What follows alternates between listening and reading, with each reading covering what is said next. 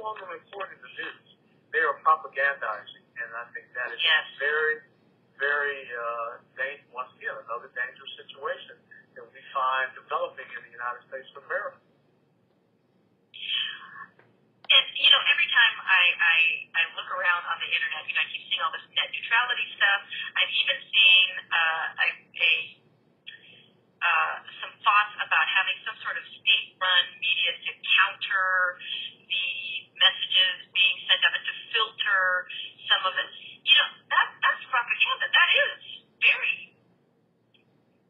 Well, you're absolutely right.